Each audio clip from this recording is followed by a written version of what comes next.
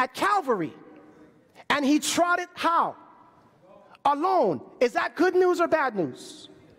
That's good news. The reason why he trotted alone is because he didn't want any of us to trot it. So he basically said, Hey, I took the wrath of God by myself so that you would not have to sail.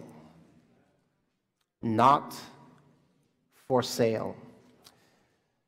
Heavenly Father, please speak through me and speak to your people. Lord, help me to take what you have given me and to break bread to share with your people. Draw us close to you as a result, is our prayer in Jesus' name. Amen. 1 Kings chapter 21, beginning with verse 1.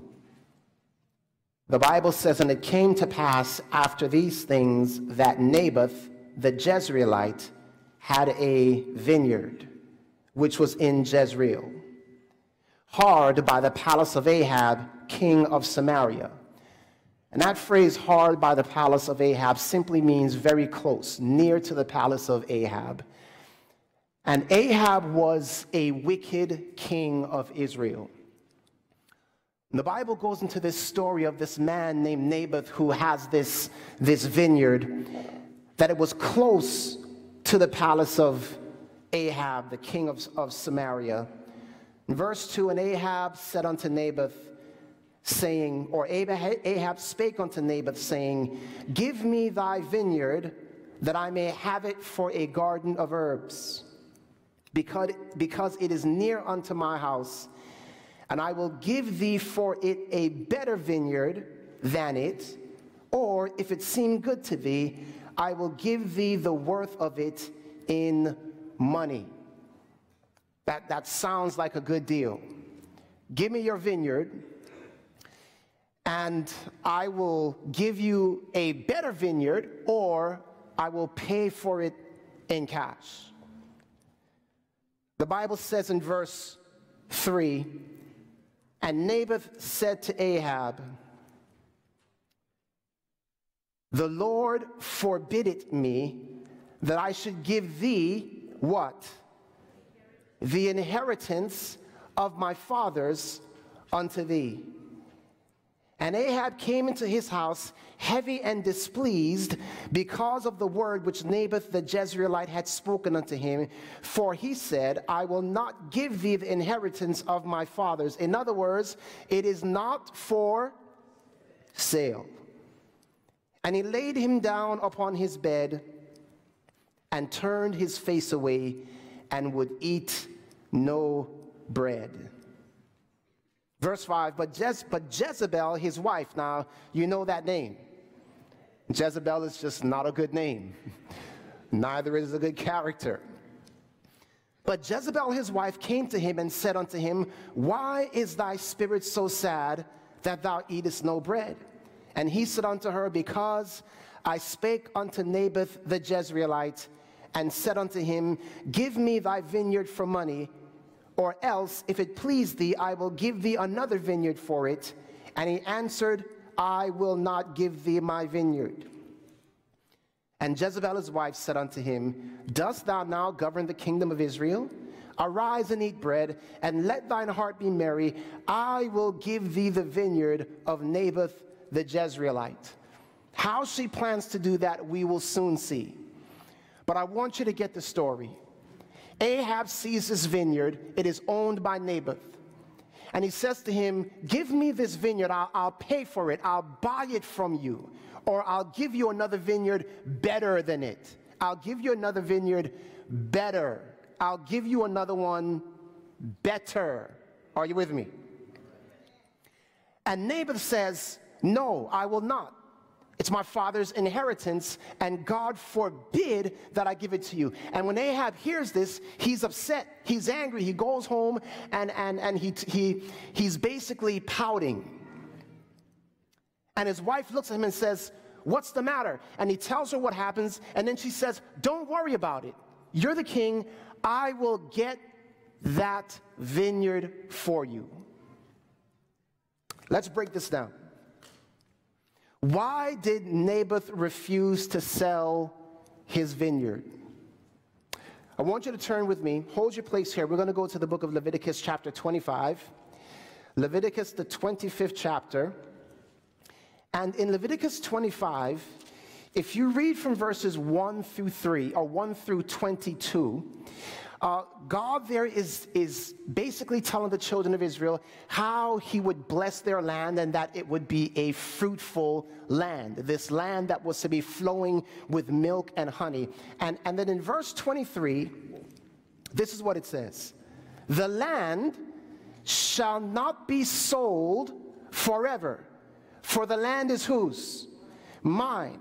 For you are strangers and sojourners with me. God tells them, You're not to sell this land, number one, because it's mine, and number two, because it's going to be a land that is flowing with milk and honey. It's going to be a fruitful land. Therefore, I do not want you to sell this land. It is never to be sold. So Naboth was simply obeying the command of, of God. In Numbers 36, verse 7, I'll read it in your hearing. It goes on to say this regarding the land. It says, So shall not the inheritance of the children of Israel remove from tribe to tribe, for every one of the children of Israel shall keep himself to, to the inheritance of the tribe of his fathers. Verse 9, Neither shall the inheritance remove from one tribe to another, but every one of the tribes of the children of Israel shall keep himself to his own inheritance. In other words, they were not to sell the land because it was part of their inheritance.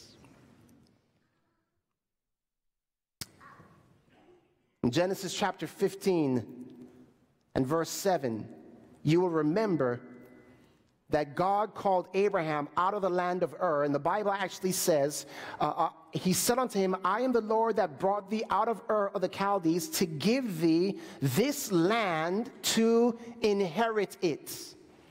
So the land that God gave to Israel was their inheritance. And God was basically saying, Do not sell your inheritance. Do not what, everyone? sell your inheritance. Your inheritance is not for sale. In Leviticus 26, verse 3 and verse 4, again, I'll read it in your hearing. It says, If you walk in my statutes and keep my commandments and do them, then will I give you rain in due season, and the land shall yield her increase, and the trees of the field shall yield their fruit. The yielding of fruit in these vineyards, in this land, was a sign of obedience to God. And therefore, God said, never sell the land because the land is sort of like a, an agreement that you and I have. You obey me, and I'm going to make your land fruitful. You see, beloved, what I want to tell you this morning is that God has given every one of us an inheritance. And your inheritance, say it with me, is not for sale. Never sell it. No matter how good the deal looks, never sell your inheritance. Because God says that this inheritance means I'm going to make you fruitful. In Galatians chapter 5, it tells us that the fruit of the Spirit is what? Love, joy, peace, long suffering, gentleness, goodness, faith, meekness, temperance. God is saying to you, listen, I am giving you these things as an inheritance. When you accept me, when you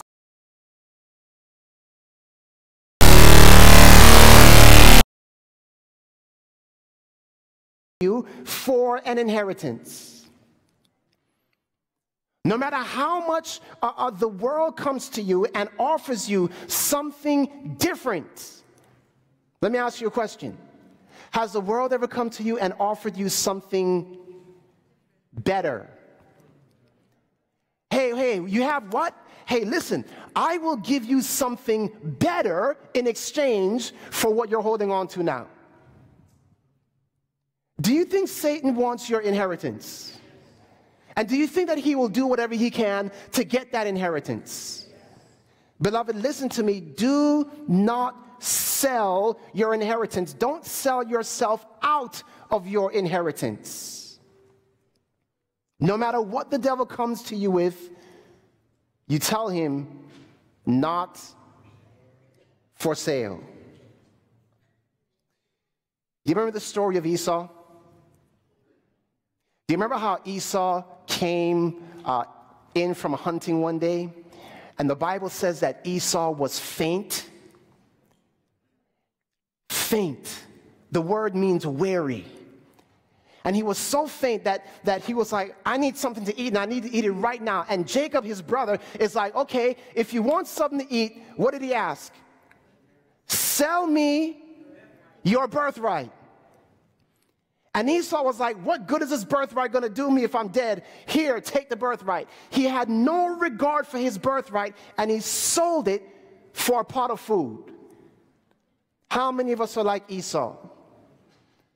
Selling our birthright for a pot of food. And listen, Esau would, not pro- would probably not have done that had he not been weary, had he not been faint. So, you know what the enemy tries to do? He tries to get you weary. He tries to wear you out to the point where you don't regard your inheritance anymore. That's what he's after. He's trying to wear you out so that you will give up your inheritance. But Matthew 8, verse 36 tells us this For what shall it profit a man if he gain the whole world and lose his own soul? Or what shall a man give in exchange for his soul? Beloved, your birthright should never be on the table for sale. Your inheritance, what God has given you, should never be on the table for sale. Uh, Galatians 6, verse 7 says this Be not deceived, God is not mocked. For whatsoever a man soweth, that shall he also reap. Remember, this was Naboth's vineyard, a place where he would sow his own fruit and, and, and, and, and reap that fruit. The Bible says here, do not be mocked. Whatsoever man soweth, that shall he reap. For he that soweth to his flesh shall of the flesh reap corruption, but he that soweth to the Spirit shall of the Spirit reap everlasting life. And then listen to these next words and let us not be weary in well doing, for in due season we shall reap if we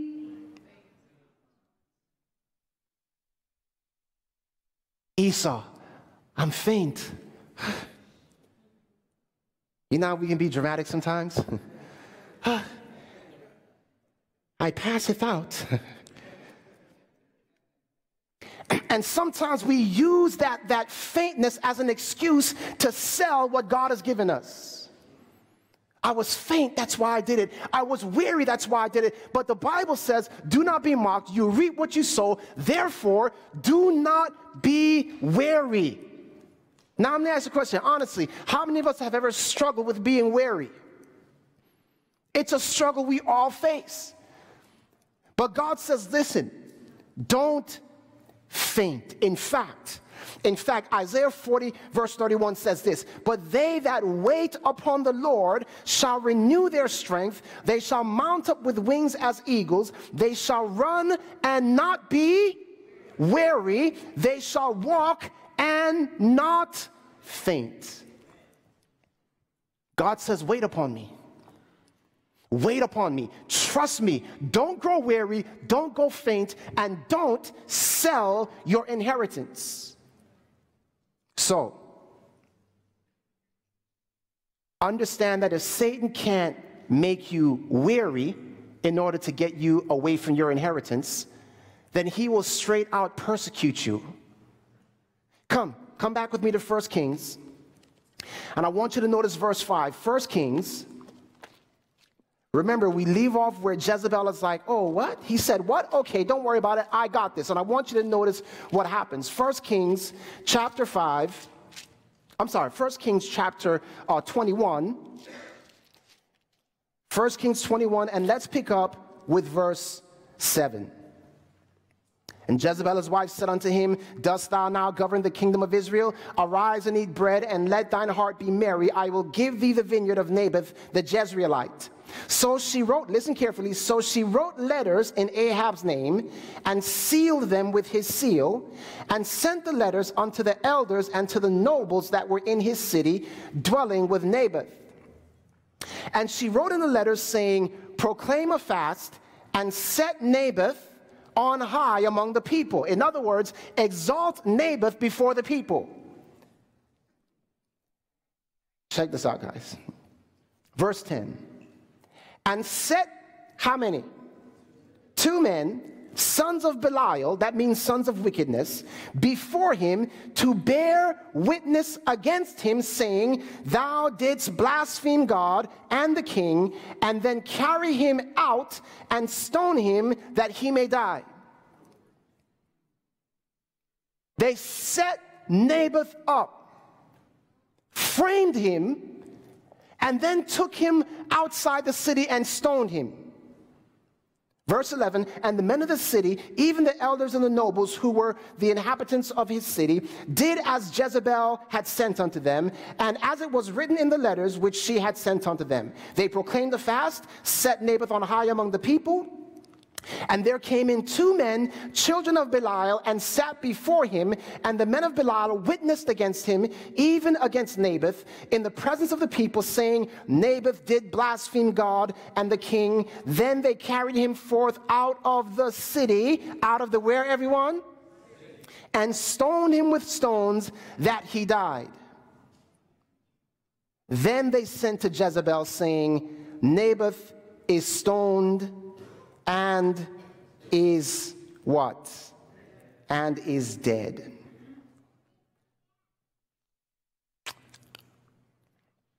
And it came to pass when Jezebel heard this that Naboth was stoned and was dead, that Jezebel said to Ahab, Arise, take possession of the vineyard of Naboth the Jezreelite, which he refused to give thee for money, for Naboth is not alive, but dead. Beloved, listen to me. If Satan cannot get you to sell your birthright, he will straight out persecute you for it. The Bible tells us, 2 Timothy chapter 3 verse 12, yea, all they that live godly in Christ Jesus shall suffer what? Persecution. Is this what they did to Naboth? They took him out of his own vineyard, out of his own garden, and stoned him. 1 Peter chapter 4 verse 12 says this, beloved, think it not strange concerning the fiery trial which is to try you as though some strange thing happened to you, but rejoice in as much as you are partakers of Christ's sufferings, that when his glory shall be revealed, you may be glad also with exceeding joy. Beloved, if Satan cannot wear you out and cause you to faint, he will wear you out through persecution. Daniel 7:25 says that he wears out the saints of the most high. That means he persecutes. Listen, beloved, don't think it's strange when you are being persecuted for righteousness' sake. Don't think it's strange that when you refuse to yield to the, to the advances of the enemy, that he will not come at you and try to make life so miserable for you that you totally give up. The sad fact, though, is that many of us are really not like Naboth at all. we are kind of more like Adam. You remember him? What did Adam do with his inheritance? He sold it. He sold it. It was not his to sell, by the way, was it? Whose was it? It was God's. Genesis 1:26 the Bible says God said let us make man in our image after our likeness and let them have dominion over the fish of the earth and over the fowl of the air and over the cattle and over all the earth. So God made man and gave him dominion over the earth. It was his inheritance and he should have kept it. It was not for sale. The Bible actually says in Genesis 2, verse 8, and the Lord God planted a garden eastward in Eden, and he put the man whom he had formed there. So God gave Adam and Eve a garden, a vineyard. What did he give them, everyone? A vineyard, a garden. And what did Adam and Eve end up doing? They ended up selling what was not theirs to sell in the first place. They sold their inheritance. But praise God that God did not leave the situation like that. Because the Bible says in Genesis 3:21 that God would send a seed. God would send someone that would come to redeem this earth and that someone was Jesus Christ. And beloved, I want you to get the picture because when Jesus comes on the scene, beloved, he has Listen. Exodus 19, verse 5, the Bible says, Now therefore, if you will obey my voice indeed and keep my covenant, then you shall be a peculiar treasure above me, to me, above all the people of the earth, for all the earth is mine. Who does earth belong to? It belongs to God. It is Jesus. He is the one that created this earth. So when he comes to earth, when he is born as a man, what he has done is he has inherited the earth. It's very interesting because the word nameth, the name nameth, it actually means fruit. And, and I want you to understand that the Bible tells us it actually calls Jesus Christ the first fruits.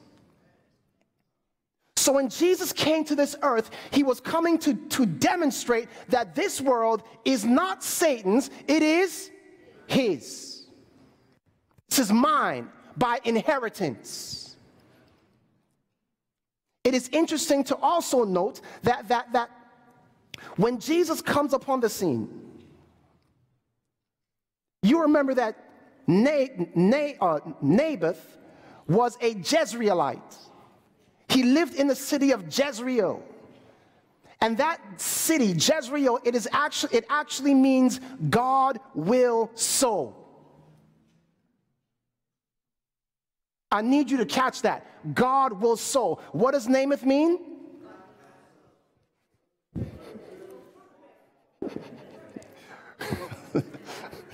You're making me faint. Namath means what? Fruit. Jezreel means God will sow. When Jesus comes to this earth, he comes as the first fruits. When the Bible spoke of Abraham, he said, when God said to Abraham, Abraham, I'm going to give you a land, you're going to inherit that land, you and your seed. The Bible tells us that the seed that was being spoken of was Jesus himself. So this was his inheritance. God saying, I'm going to sow in this field, this earth, and the sowing that I'm going to do is going to bring forth a bountiful harvest of fruits. Don't sell the land. Why? Because this land is going to produce much fruits. Let me ask you a question. What is the process of producing fruit? How do you get fruit? What do you have to do? You plant the seed. Something has to be put in the ground. And that thing that is put into the ground comes back out of the ground in a different form. Y'all are feeling me. and so God said, Listen, I am per- I am, this earth is mine because this earth is going to provide a bountiful harvest. There's going to be a lot of fruit coming up out of the ground one day. So, so, remember, in the story, Ahab wants the garden for himself. So he approaches Naboth and says, Hey, what will you give me for your garden? Come with me. Matthew. Matthew chapter 4. Because you see, Ahab wanted to make Naboth's garden a part of his own kingdom. Y'all not feeling me. Did you hear what I just said? Ahab wanted to make Naboth's garden a part of his own kingdom. So he goes to him and is basically tempting him to go against the plain word of God. Matthew chapter 4, Matthew chapter 4, verse 1. Please notice what the Bible says here. Matthew chapter 4, verse 1. The Bible says, then was Jesus led up in the Spirit into the wilderness to be tempted of the devil. And when he had fasted 40 days and 40 nights, he was afterward a hungered. And the tempter came to him say, uh, and say, uh, saying,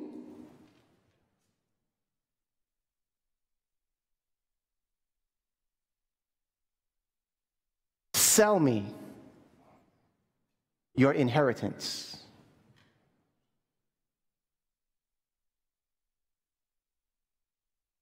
I know why you are here. You're here to try to win this earth. So listen, let's make a deal. And these three temptations if you be the Son of God, turn this stone to bread. He then takes him to a high place and says, Throw yourself down, and, and, and if you're God, or if you're the Son of God, your Father will save you. And then he finally says, Look, all this will I give you. Hold on, hold on. Look, look, look. Come down with me. Verse, verse 7. Or verse, verse uh, 8. Again, the devil taketh him up into the, an exceeding high mountain and showed him how much?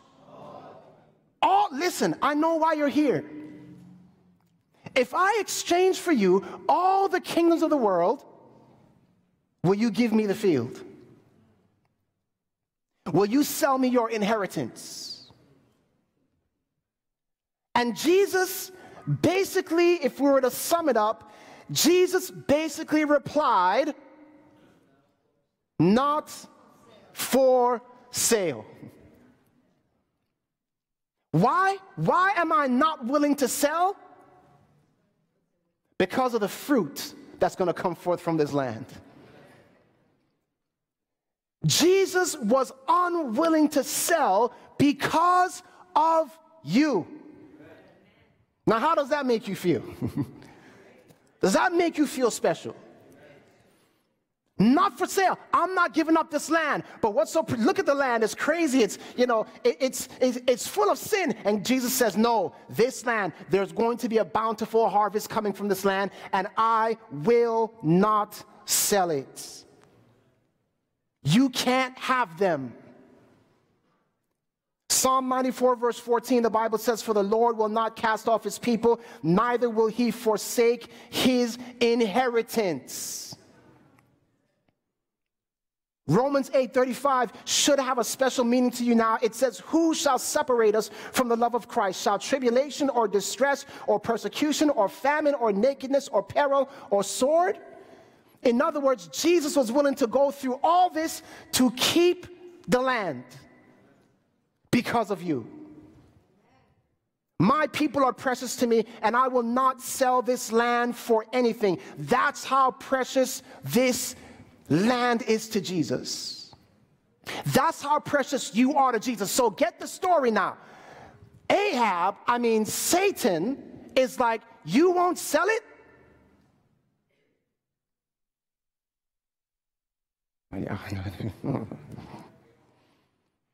the Bible says the devil goes away leaving, leaving Jesus after these temptations. Devil realizes I'm not going to get it from him through bribery. I'm not going to get it from him through, through him being faint or weary. Because, by the way, was Jesus weary in the wilderness for 40 days and 40 nights? And even in his weariness, he was like, not for sale, not selling it. All right, so if I can't buy it from you, then we need to set you up. So, so watch this. What happens? Come with me to Matthew chapter 26. You need to see this. Matthew chapter 26. Note what happens. Matthew 26, verse 3. Matthew 26, verse 3, the Bible says these words Then assembled together the chief priests and the scribes and the elders of the people unto the palace of the high priest, who was called Caiaphas, and consulted that they might take Jesus subtly and what? Let me ask you a question.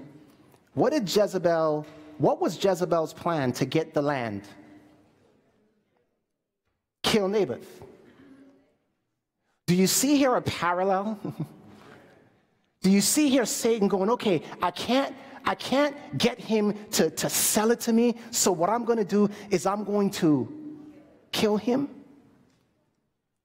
And, and if you check out the rest of the story, it's really quite interesting because if you jump down with me a, a, a few verses, uh, actually down to verse 46, verse 46, just notice what the Bible says here Matthew 26 and verse 46.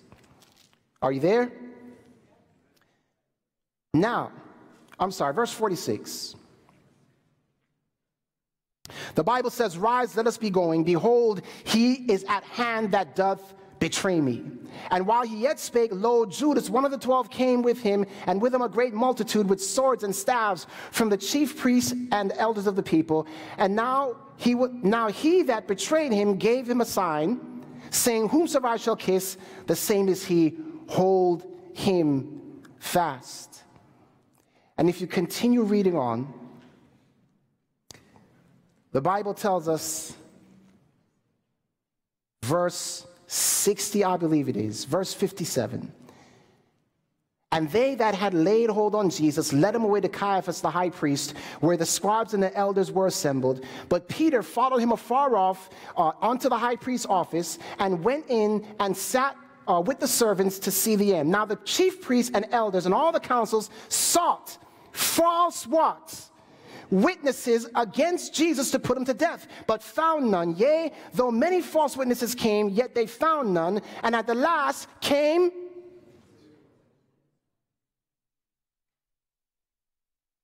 how many?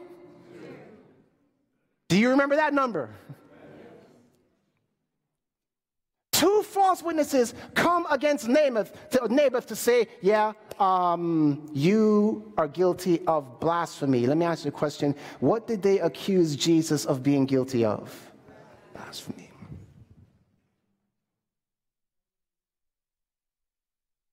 Claiming to be God and blasphemy. And so, what did they do?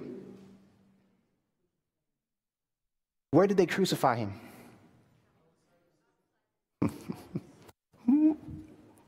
Do you catch this? They crucified him outside the city. Did they set him on high? Jesus said, An eye, if I be what? Lifted up will do what? Draw all men unto me. Now, listen to me. You got to understand this. You see, when Ahab did this, he thought that he had secured his kingdom. He had secured his vineyard, I should say. But little does Ahab realize that in this very act, in killing Naboth, watch this, come back with me to 1 Kings chapter 21. You need to see this. 1 Kings 21, verse 16. 1 Kings chapter 21.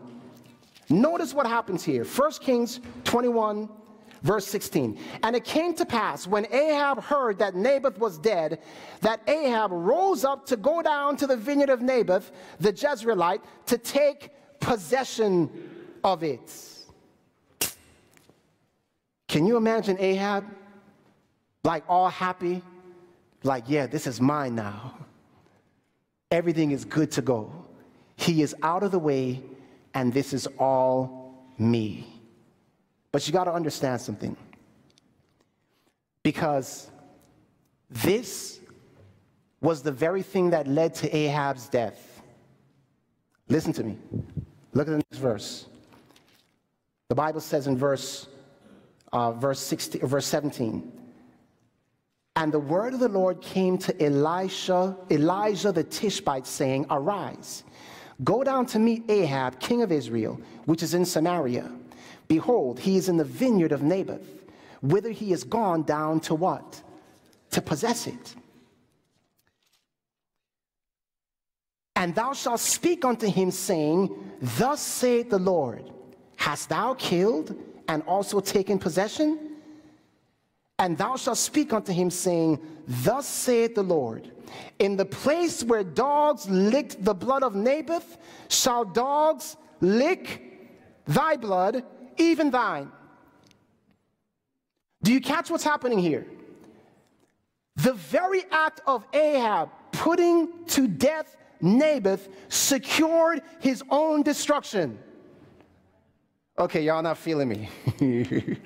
the very act in Naboth thinking, this is how I'm gonna get victory. I'm gonna put, I'm sorry, in Ahab thinking, this is how I'm gonna get victory. I'm gonna put him to death so that I can get his field. In that very act, his own death and defeat were secured. Beloved, listen to me. In the very act of Satan seeking to destroy the life of Christ, in the very act of Satan trying to bruise the heel of Jesus, in that very act, he secured his own destruction. Do you remember how Jesus said, except a kernel of wheat uh, uh, uh, uh, uh die and is buried, it abides alone? But if it die and is buried, then it will what? Bring forth much fruit? Listen, guys. Do you realize you need to see? Come, come back with me.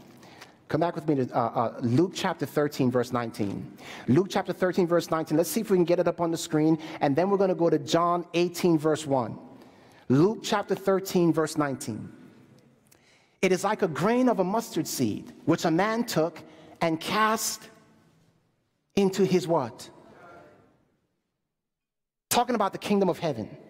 Jesus is giving this analogy, and he says, It is like a mustard seed which a man took and cast into his garden, and it grew and waxed a great tree, and all the fowls of the air lodged their branch in it. Beloved, Jesus Christ is that seed that was planted in the garden of the Lord the very planting of that seed secured the destruction of Satan. In fact, do you remember when Jesus was in the Garden of Gethsemane? Oh, I just gave it away. Man. the Garden of Gethsemane it was as if while he was in that garden, God was reminding him, listen, he was struggling with this sacrifice, and God was saying, it was like he was being reminded, you have come here to redeem the garden. You have come here because there is going to be a bountiful harvest. Don't turn back now.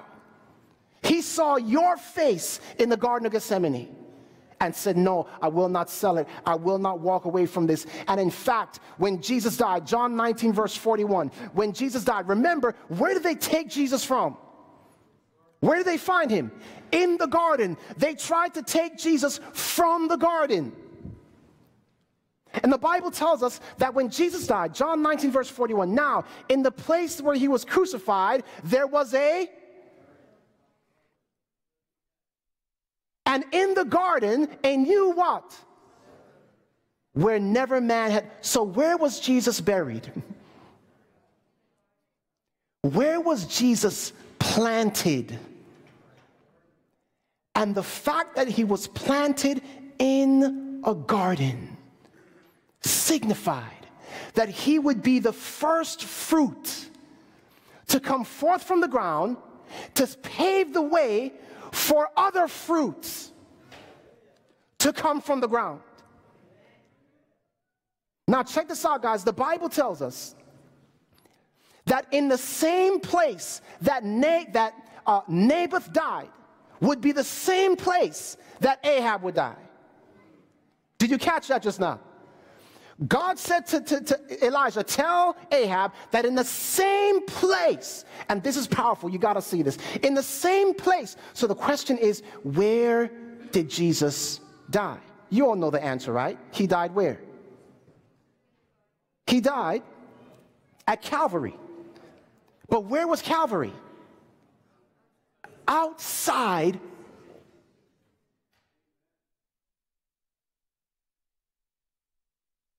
You guys, Jesus died outside the city. Does the Bible tell us that in the same place that Jesus died, does the Bible tell us that Satan will die in that same place? It does, doesn't it? Now, I know what you're saying. Wait a minute. Where in the world does the Bible say that Satan will die where Jesus died? Listen, guys. Come. no, no, no. I got, I, how do I do this? How do I do this? Look, look.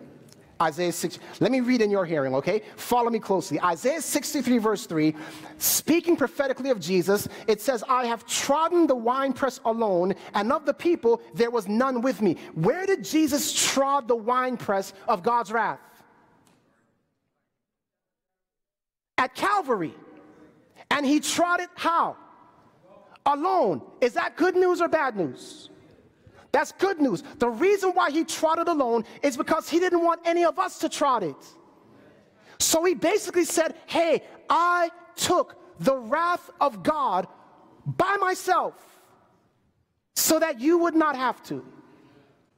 I died on Calvary so that you would not have to. Galatians 3:13 says Christ has redeemed us from the curse of the law, being made a curse for us, for it is written, cursed is everyone that hangs on a tree. Christ became the curse for us and he became the curse for us outside the city. Psalm 75, verse 8 For in the hand of the Lord there is a cup, and the wine is red, it is full of mixture, and he poureth out the same, but the dregs thereof, all the wicked of the earth shall wring them out and drink them. Christ drank that cup for us in the Garden of Gethsemane and on the cross, and he did it all himself, so that you and I would not have to experience that. He took it upon himself. Remember, he prayed, if it be possible, let this what? Let this cup pass from me. The Bible says that he took our sins upon himself. And now listen carefully, beloved, because this is this is the main point I want to get across to you now. So please follow carefully. Hebrews 2, 12, verse 2 says this looking unto Jesus, the author and finisher of our faith, who for the joy that was set before him endured the cross, despising the shame, and is set down at the right hand of the throne of God. What does it mean, despising the shame? What do you think despising the shame meant? Did, did, did Jesus experience shame on our behalf? Where did he experience that shame? At the cross. The cross is the place of shame. What I say? It's the place of shame. It's the place of reproach. Outside the city, Christ took our shame upon himself. Now watch this. Hebrews 13 11 tells us this. For the bodies of those beasts whose blood is brought into the sanctuary by the high priest for sin are burned without the camp. Wherefore, Jesus also, that he might be that he might sanctify the people with his own blood, suffered without the gate. And then it says this let us go forth, therefore, unto him without the camp, bearing his reproach. God is inviting us now. Go outside the city when? Now to bear what? His reproach. Listen to me, guys. He's inviting you to do it when? Now. When is he inviting you to do it? now because you don't want to be there later. Did you catch what I just said? If you don't, just follow along. God is inviting us now. Hey, symbolically, go outside the city now. Go to that place where, where it's shame now. Go there now. Experience it now. Let us bear the reproach of being a Christian now. You see, beloved, the world is trying to rob you of your inheritance through shame. You're a what? you really believe in that Bible? Do you, do you see what I'm talking about? The world's weapon to try to get you to sell your inheritance is shame. So Jesus says, listen, don't be ashamed of me. Bear the shame, bear the reproach, do it now. Be willing to be ashamed for my cause. Like Paul said, I am not ashamed. Bear the shame, but don't be ashamed. Bear the shame. Be willing to stand up and say, Yeah, that's who I am. This is what I believe. Bear the shame, but don't be ashamed. And there's a very simple reason why, beloved. Listen, do you remember the book of uh, uh Hebrews 11? Uh, chapter two, verse 24 rather it says by faith moses when he was come to years refused to be called pharaoh's son or pharaoh's uh, be called the son of pharaoh's daughter choosing rather to suffer affliction with the people of god than to enjoy the pleasures of sin for a season esteeming the reproach of christ greater riches than the treasures of egypt. What did moses do? He preferred the reproach of Christ than the riches of Ahab, the riches of Egypt, the riches of this world.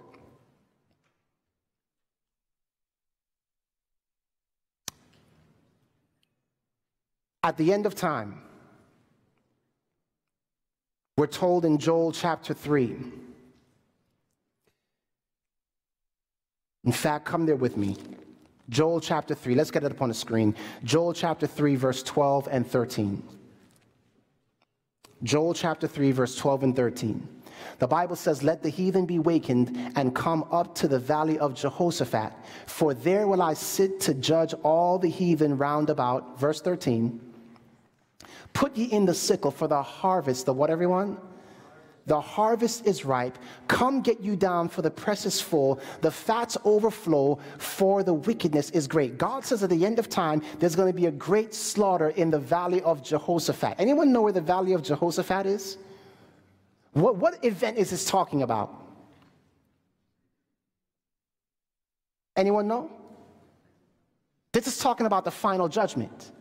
The valley of Jehoshaphat. The, the, the, there's going to be a great slaughter. And check this out the Bible tells us in Zechariah 13 that when Jesus comes again, his feet are going to stand upon the mount of what?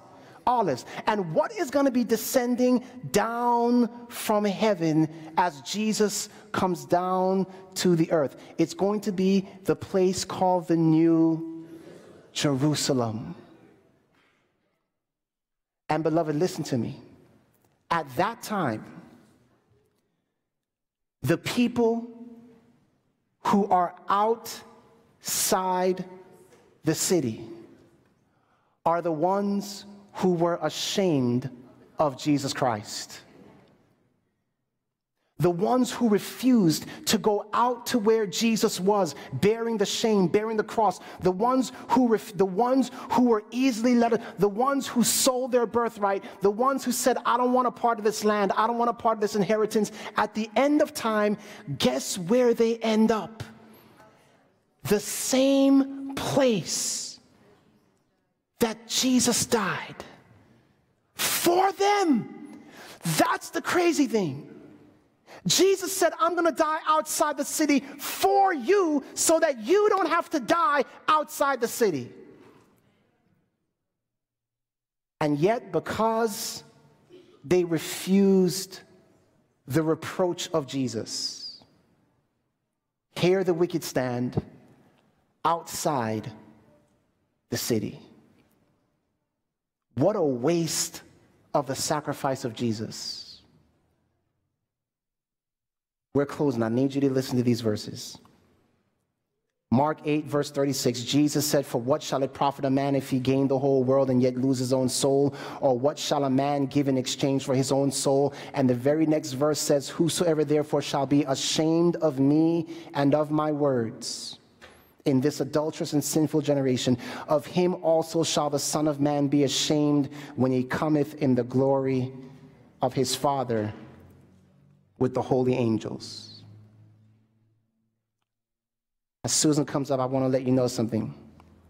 Outside the city, there are three places of significance. Outside the city of Jerusalem in the days of Jesus, there were three places of significance. One was Calvary, it was outside the city. Two was Gethsemane, it was outside the city. And both of those places were what? gardens. Number three, the other significant place outside the city was a place called Gehenna. You know what that is? It's the place where bodies were burned. And, beloved, I want you to understand that when Jesus and that New Jerusalem touches this earth, at the very end of this world's history, the people outside the city will remember something very specific. They will remember the one who died outside the city for them. They will remember the cup he drank on their behalf, and they will lament the fact that as they are being destroyed, they will lament the fact that they rejected what happened outside the city for them. And, beloved, my appeal to you today is this it's time for us to go out of the city now. It's time for us to bear the reproach and the shame of Christ now. We love him because he first loved us. He died for a world that rejected him, that put him out of the city. That's who he died for. He didn't die for the righteous, because if he died for the righteous, not one of us would be saved. He died for the wicked. He died to redeem those who were his enemies. And he's pleading now accept my sacrifice on your behalf. And beloved, my simple appeal is if, you, if you're saying to yourself today, Lord, make me willing to bear the shame and the reproach, help me to not be so quick to sell my inheritance. That's your desire. I want you to raise your hand as Susan comes up. She's going to lead us in prayer. Lord, let me have that mentality that my inheritance is not for sale. If you can, please kneel as Susan prays.